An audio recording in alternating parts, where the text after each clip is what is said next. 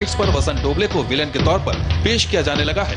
बॉलीवुड से लेकर आम आदमी तक ये कहने को मजबूर हो गया है कि भागो वसंत डोबले आया। काफ़ी मासूम लड़कियाँ काफ़ी मासूम औरतें पकड़ी जा रही हैं जिनको लोग प्रोस्टिट्यूट समझते हैं। कई बार पूरी पूरी रात उनको अ, थाने में गुजारनी पड़ती है तो ये बहुत गलत हो रहा है और मेरे हिसाब से इस सब चीज़ों पर रोक लगना बहुत ज़रूरी हो गया है। कानून के नाम पर एक धांधली हो रही है, एक गुंडागर्दी हो रही है। हम पार्टी करने जाएँगे तो हम सोचेंगे, एक दूसरे से कहेंगे कि जल्दी भागो, यहाँ से कहीं ऐसा ना हो कि ढोबले ना आ जाए। पिछले दो सालों से एसीपी वसंत ढोबले हीरो की तरह मीडिया में छाए रहे, लेकिन आखिर उन्होंने बीते कुछ दिनों में ऐसा